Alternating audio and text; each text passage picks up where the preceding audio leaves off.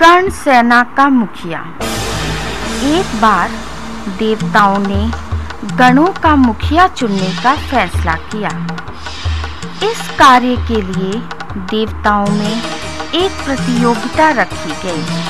प्रतियोगिता ये थी कि पूरे संसार का भ्रमण जितनी जल्दी हो सके, उतनी जल्दी किया जाए। भ्रमण करने के बाद दोबारा से भगवान शिव के चरणों में प्रस्थान किया जाए।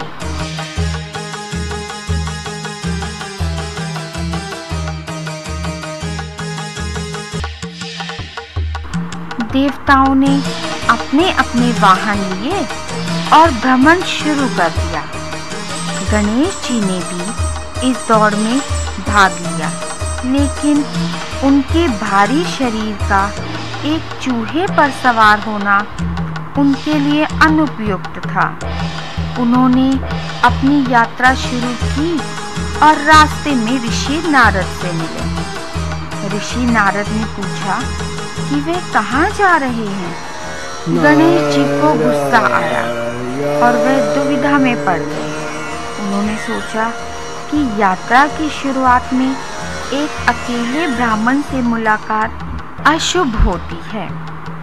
नारद जी ब्राह्मणों में सबसे महान थे और स्वयं ब्रह्मा जी के बेटे थे। लेकिन फिर भी यह एक अशुभ लगन था।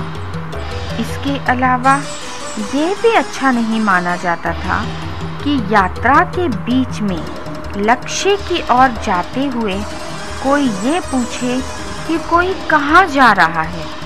इस तरह गणेश जी ने खुद को दोगुना बदकिस्मत महसूस किया, लेकिन ऋषि नारद को वे कुछ नहीं कह सकते थे। लेकिन महान ब्राह्मण उनके गुस्से को शांत करने में सफल हो गए। गणेश जी ने उन्हें अपनी उदासी के बारे में बताया। उन्होंने उन्हें अपनी जीतने की तीव्र इच्छा के बारे में भी बताया। नारद जी ने उन्हें हौसला दिया। उन्होंने उसे पीछे हटने को नहीं कहा, बल्कि हौसला देते हुए कहा, जिस तरह एकमात्र बीज से एक बड़ा पेड़ जन्म लेता है, उसी तरह एकमात्र राम नाम के बीज से ये पूरा ब्रह्मांड पैदा हुआ है।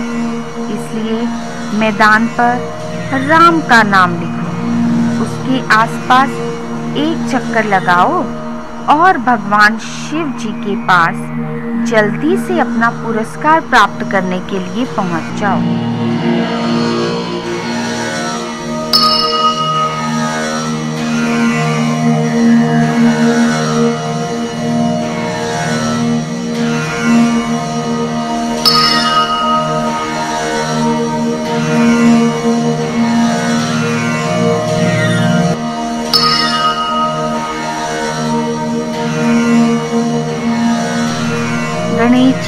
अपने पिता के पास वापस लौटे। उन्होंने पूछा, वे इतनी जल्दी दौड़ कैसे पूरी करके आ गए? गणेश जी ने उन्हें नारद जी से हुई बात के बारे में बताया। भगवान शिव ने उनके उत्तर से खुश होकर अपने बेटे को विजयी घोषित किया और उसी पल से उन्हें गणपति और विनायक के नाम से विभूषित किया जाता है।